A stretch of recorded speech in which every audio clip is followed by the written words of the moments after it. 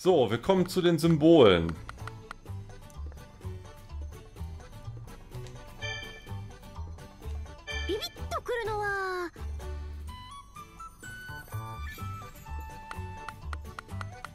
So, die haben alle nur Trades, die wir nicht gebrauchen. Ich habe nur so wenig Gras hier.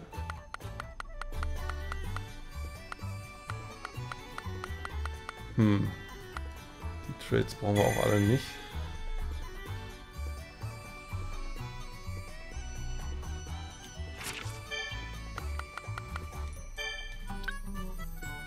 So, Erde wäre ganz gut und kein Feuer. Attack und Defense Charge, das können wir übernehmen. Strange Affinity macht was?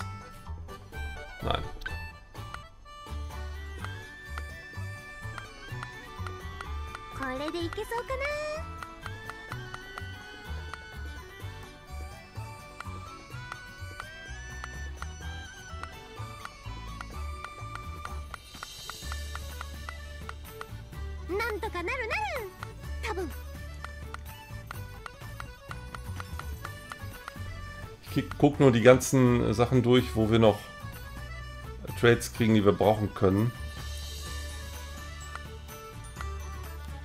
Max TP Increase. Weiß ich noch nicht. Okay, wir bleiben also erstmal bei Attack und Defense. Charge. Oh, das ist die DLC-Baumwolle, ne? Ah ja. Egal. So, und jetzt gucken wir erstmal hier. Ach, da haben wir dieselben Sachen.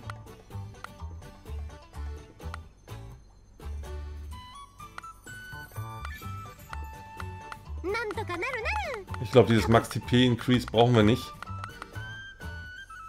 Weil wir ohnehin nicht genügend Trades finden. Ach doch, guck mal, Attack Boost.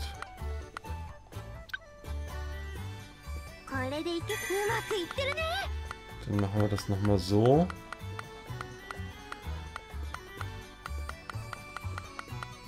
Habe ich jetzt überblättert? Ja, ne? Da, ganz das erste war's. So. Ähm...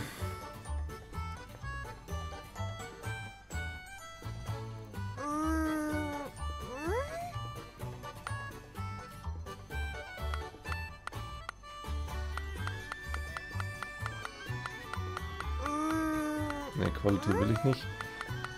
State Affinity brauche ich auch nicht.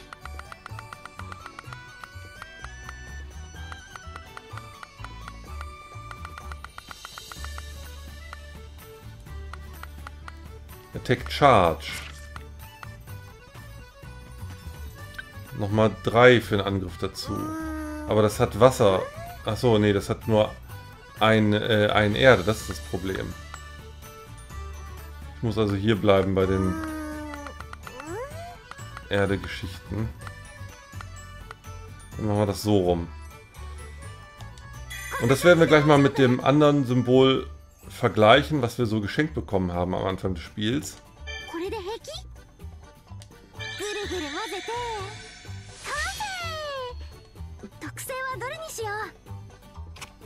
Oh nein, wir haben nicht genügend Punkte. Achso, Max TP Increase brauche ich ja gar nicht übernehmen. Das ist ja okay so.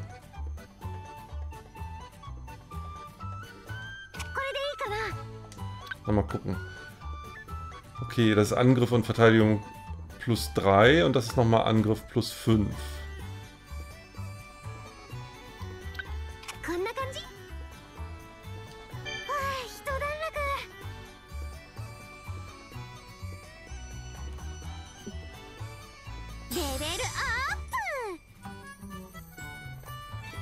Okay, damit können wir jetzt schon mal 5 weitere Trade-Punkte übernehmen. Und sonst?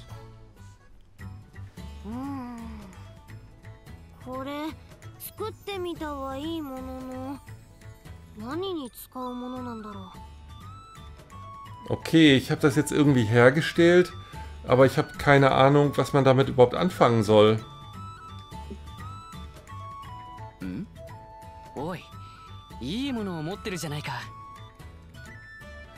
Hey, Lulua, das ist aber ein schönes, ein schöner Gegenstand, den du da hast. あれオーレル知ってるの Hallo Aurel, weißt du, was das ist? なんだむしろ知らないのかそれはだな Warte mal, willst du mir damit sagen, dass du es nicht weißt? Ach, Jemine. Ja, dann kläre ich dich mal auf. Genau, mansplains ihr mal. Symbole. Ach so, es ging jetzt, weil egal welches Symbol wir craften, jetzt werden uns die Symbole erklärt. Das finde ich sehr gut. äh, rüste Symbole aus, um den Status zu verbessern. Ja, aber wo ist jetzt nochmal der Unterschied zwischen Symbol und ein, normaler, ein normales Accessoire? Den Status verbessern wir ja auch mit Accessoires. Ja, wie, wie ich die ausrüste, weiß ich. Ähm ja, wir sollen Symbole benutzen, um Kampfvorteile zu bekommen. というわけだ そいつを身につければ戦闘がかなり有利になる Ja, und das wäre es dann eigentlich auch. Äh, behalt's einfach an dir und du bekommst dann die Belohnung davon in den Kämpfen. Okay, letztendlich ähm, kennt sich Aurel mit Symbolen ungefähr so gut aus wie mit Regenschirmen. Ja, spann den auf und dann wirst du halt nicht nass. 探索を楽にするためにも 作っておいて損はないだろうな Sie können sogar nicht nur im Kampf helfen, sondern auch bei der Erkundung. Ähm, es gibt absolut keinen Grund, kein Symbol auszurüsten. なるほどすっごくよくわかったありがとねオーレル Wow, jetzt verstehe ich. Vielen Dank, Aurel.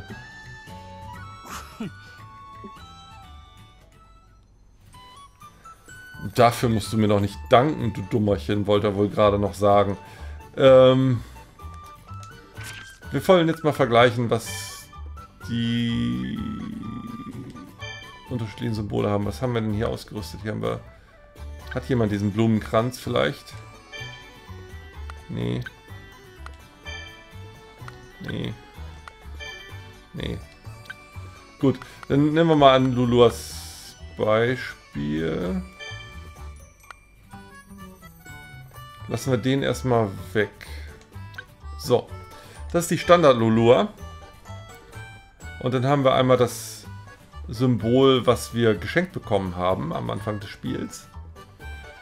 Das bringt insgesamt zwei, drei, nehmen wir Quality mal mit, vier Attributswerte.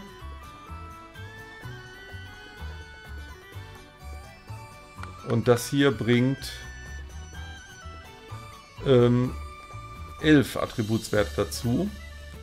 Außerdem haben wir hier C4 Dance S und hier L. Was macht denn der Wirbelwind-Tanz? Wenn wir angreifen, haben wir 50%ige Chance, Magieschaden einzurichten. Und die Kraft von Magic Tools wird um 7% erhöht. Jetzt muss ich noch mal wissen, sind Bomben theoretisch Magic Tools? Nein, ne?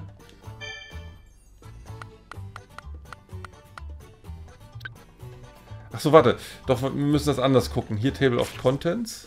Nein, da steht es auch nicht. Ähm, eine Bombe oder jeder Gegenstand gehört zu einem zu einer Kategorie oder zu mehreren. Wo kann man das sehen? Items.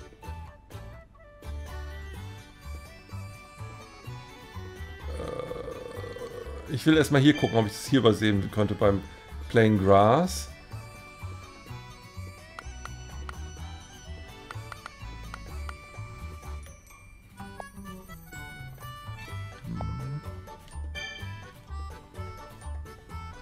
Genau, das wäre Pflanzen.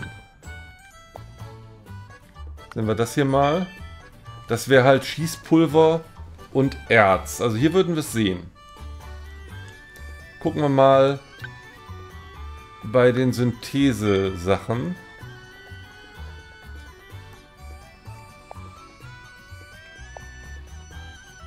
Da sind keine Bomben dabei. Da müssen wir ähm, Usables nehmen. Ja, genau. Bombe ist Bombe und kein Magic Tool. Das ist Magic Tool. Haha! Barrel ist wieder eine Bombe. Globe. Also unser schlechtester äh, unser schlechtestes Angriffs-Item ist zufällig auch Magic Tool. Das heißt, dieses Blumenteil bringt uns jetzt erstmal nichts.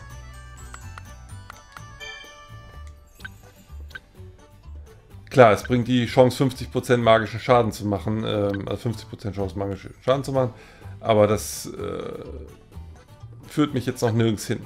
Wir werden jetzt die anderen äh, Sachen auch nochmal craften.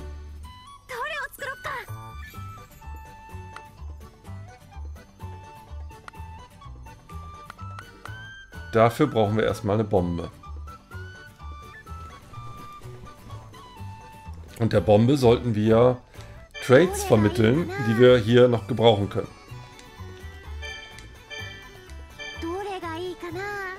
Wie zum Beispiel Max TP Increase. Was ist das?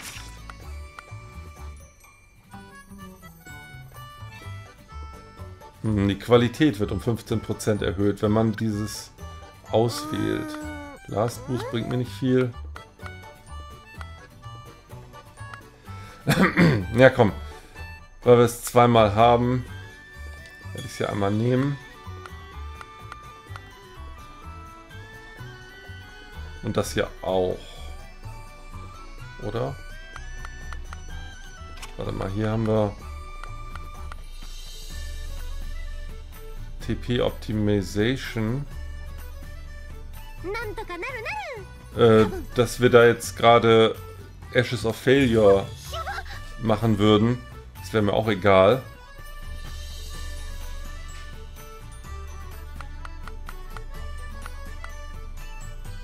Das können wir jetzt gleich noch ausgleichen. Wobei ich gerade am überlegen bin, könnten wir das provozieren, dass wir hier Ashes of Failure machen. Dann würde ich das nämlich gerne einmal machen. Nehmen wir das hier mal kurz weg.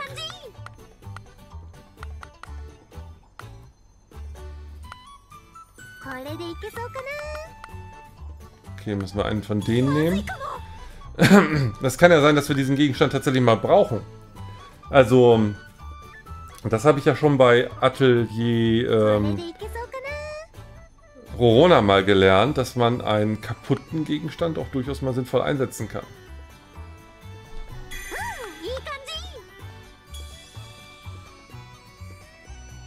So, da konnten wir nichts anderes als rot nehmen. Jetzt nehmen wir hier mal wieder blau. Wir haben hier kein Blau. Es könnte knapp werden. Kommt Bunny Slayer. So. Hier haben wir aber... Nein, es reicht nicht ganz. Schade, schade, schade. Ach, Mann. Wir könnten jetzt das nehmen und das nehmen, aber wir kommen nicht auf, äh, auf den untersten blauen Balken. Okay, also Kommando zurück. Wir machen eine ganz normale Bombe.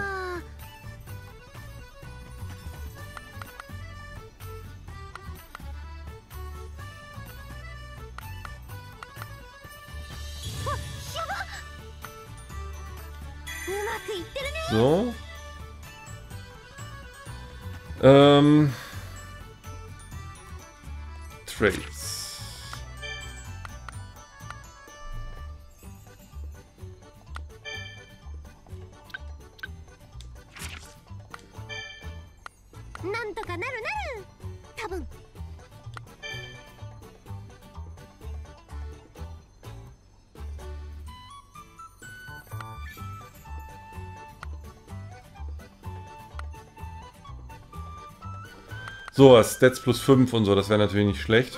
Also plus 5 Prozent.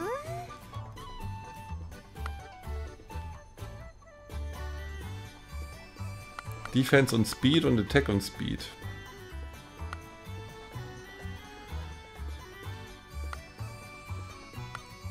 Okay. Damit ich es einordnen kann, muss ich hier auch die Trades mal eben kontrollieren.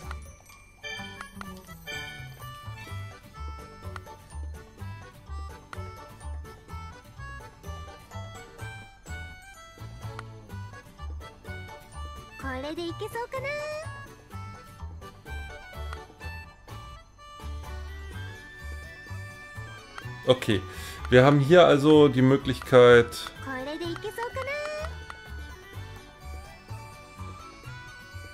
Attack und Defense.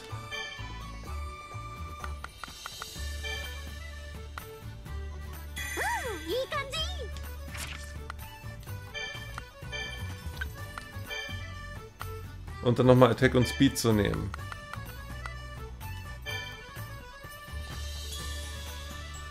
Ich weiß nicht, ob sich das zu einem neuen Trade denn vereinigt.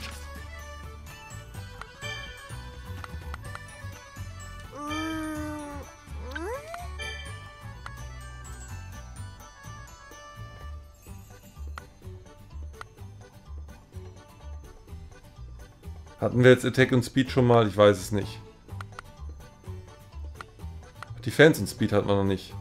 Das weiß ich.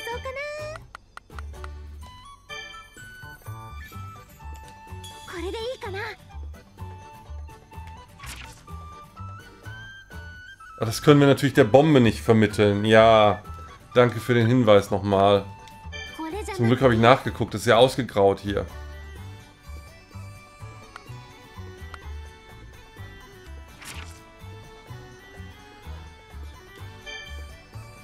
Dann kann ich hier einfach nach der Qualität gehen und ist egal.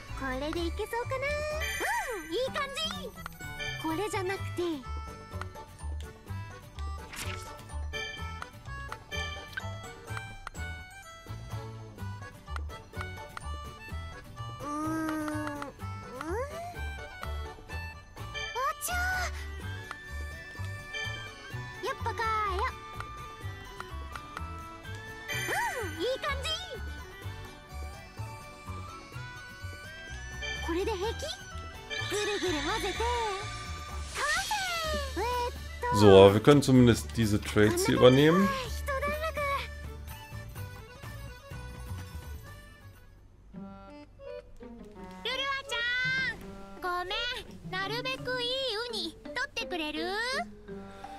Lulua, kannst du mir gerade mal hochwertigen Uni rüberreichen?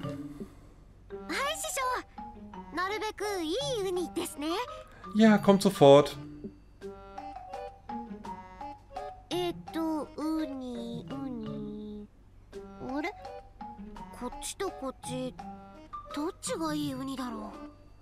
Schauen wir mal bei den Unis. Unis, welcher wäre jetzt der richtige?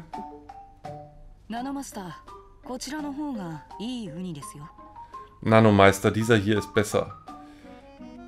Ist natürlich auch deprimierend, dass sich Lulua von einem künstlich erschaffenen Menschen äh, nochmal erklären lassen muss, wie die Sachen so funktionieren.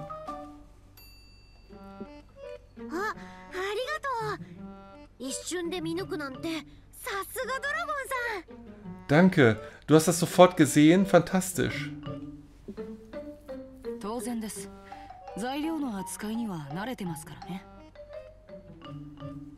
Nein, überhaupt nicht. Ich habe einfach sehr viel Erfahrung, was das Begutachten von Gegenständen betrifft.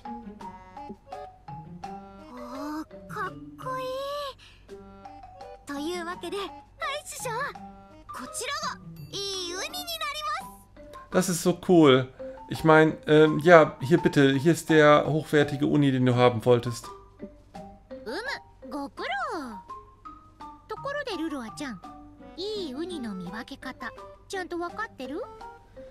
Oh, danke schön. Übrigens, Lulua, weißt du überhaupt, ähm, wie man oder was der Unterschied ist zwischen guten und schlechten Unis? So, so, des, ne? そそうですねこうウニーとしてるのがいいウニです Äh, muss er eventuell unique sein? Also einzigartig? Immer diese Wortspiele. 分かってないわねジムドラゴン教えてあげてちょうだい Okay, gib doch einfach zu, dass du es nicht weißt. weißt. Äh, Jim Dragon, kannst du ihr das zeigen, bitte? はいマスター 質のいいウニを見分ける方法はトゲの高度です Ja, natürlich. Die Qualität der Unis wird in der Härte ihrer Spitzen gemessen. いいウニほどトゲが硬く鋭く尖っていますなのでウニを見分けるにはトゲに注目するべきです Umso härter und spitzer, äh, nein, umso härter und schärfer die Spitzen sind, desto besser ist der Uni. Also musst du einfach immer nur auf die Spitzen achten.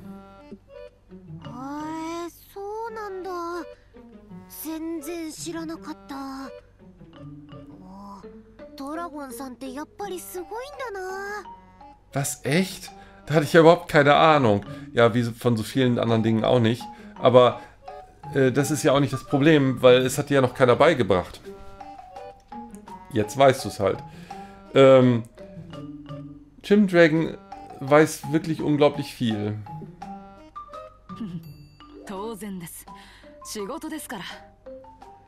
Nein, überhaupt nicht. Ähm, ich mache hier nur meinen Job. Mir fällt im Hintergrund übrigens gerade was auf. Am Anfang der Folge haben wir dieses umgedrehte Kreuz im Waisenhaus gesehen. Hier sehen wir Knoblauchzehen, die an die Wand gehängt wurden was hat uns das Spiel noch zu bieten?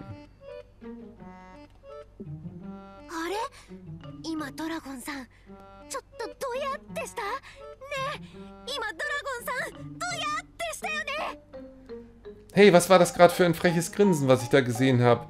Habe ich doch gesehen, oder? Nein, das musst du dir nur eingebildet haben.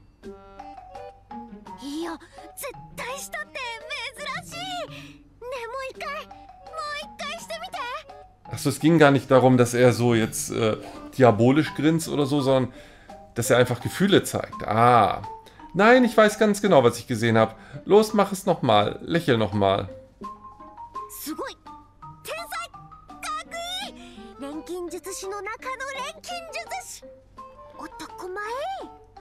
Du bist fantastisch, ein Genie, so cool. Der beste Alchemist, den man sich vorstellen kann. Ja. 褒められても別に Wenn du mich lobst, funktioniert das nicht. えー、どうしてお願いねお願い Ach, warum denn nicht? Ach, bitte, bitte, bitte, bitte, bitte, bitte.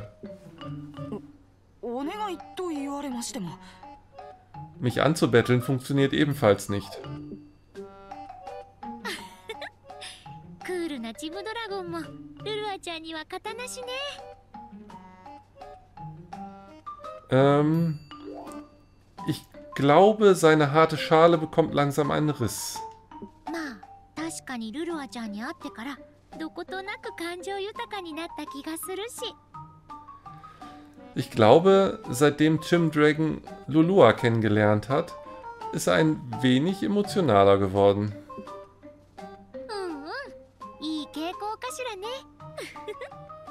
Nicht, dass ich das schlecht finden würde.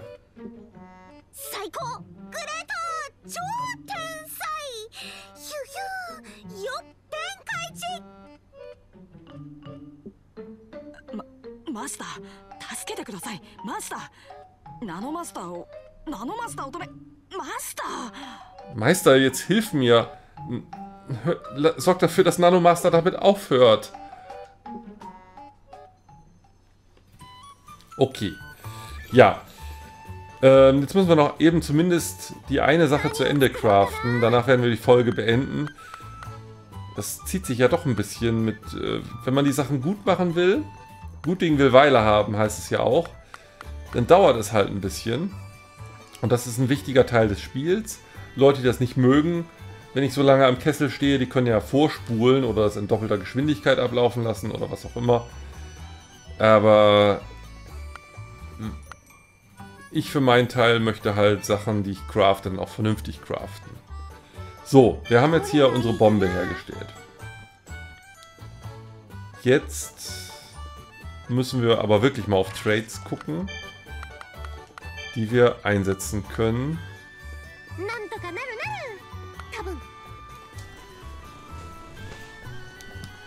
Ich muss jetzt auch schon mal darauf achten. Ich gehe nochmal einmal zurück. Das wäre das Fire Spirit Crystal Symbol. Da müssen wir mal eben einmal kurz schauen. Was würde uns das überhaupt bringen? Wer würde das ausrüsten?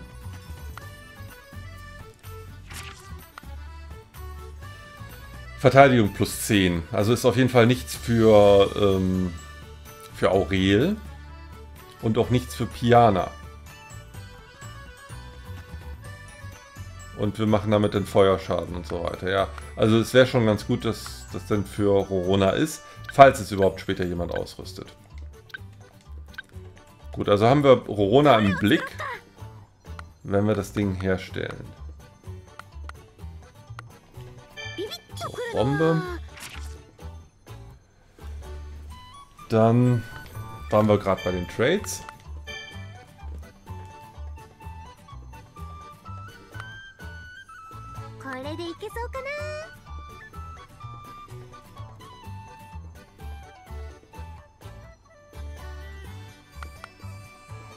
Skill Power plus 10%. Äh, Rona setzt. Äh, Rona. Äh, Lulua setzt öfter Skills ein, also das könnte sich lohnen. Und mehr gibt's da nicht. Okay, entweder ähm, HP Charge. Was macht Adjust?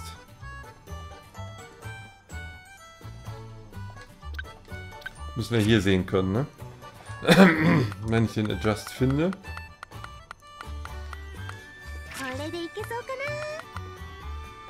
Okay, das ist hierfür nicht geeignet.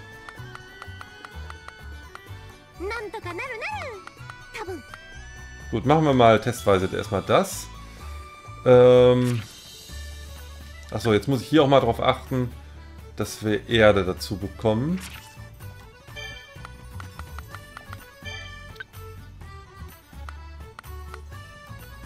Max TP Increase, ne, brauchen wir jetzt glaube ich nicht. Das haben wir schon. Hier haben wir auch mal wieder Skill Power plus 10%.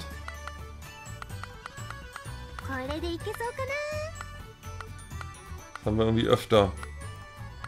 Gut, dann nehmen wir hier das andere. Nehmen wir hier die HP Charge.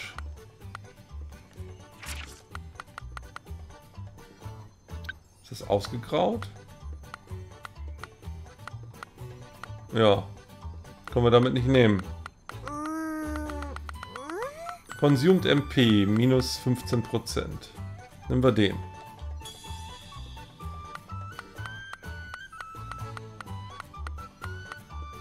So, hier die Skill Power. Und hier...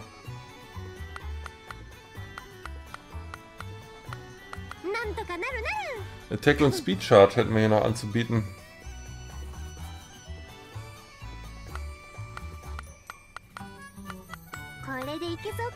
Ja, warum nicht?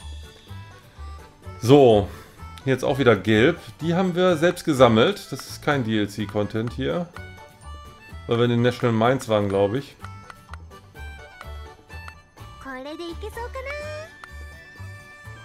Jetzt wieder Attack und Speed Chart.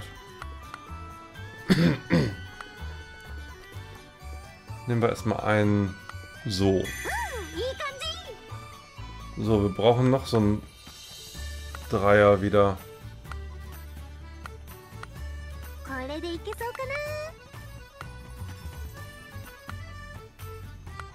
Nehmen wir den, ist egal.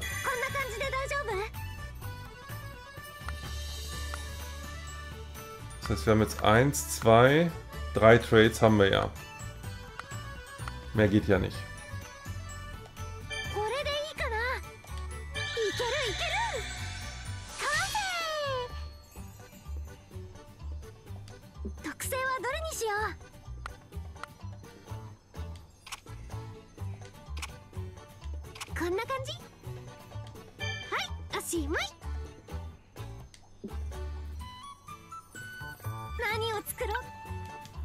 Das können wir Rorona schon mal, das können wir Lulua schon mal ausrüsten. Das hat sie ja vorher quasi auch getragen. Nur, dass jetzt aus Surging Flame S Surging, Surging Flame L geworden ist. Und dass sie halt nochmal 6 Attributspunkte mehr bekommt, weniger MP verbraucht und solche Sachen. Was macht denn Surging Flame L? 50% Fire ähm, Attribut Magic Damage und Critical Hit Power ist 7% höher.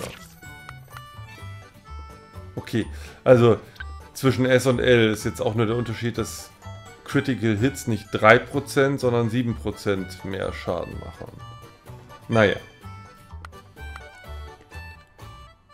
Gut, dabei belassen wir es dann mal für diese Folge. Und nächste Folge geht es mit den anderen Symbolen erstmal weiter. Also, macht's gut, bis dann. Oder wir gehen erstmal in den Guiding äh, Forest dann. Ähm... Guiding Light Forest, damit wir die Queste erledigen. Und danach machen wir dann nochmal andere Symbole. Also bis morgen dann. Tschüss.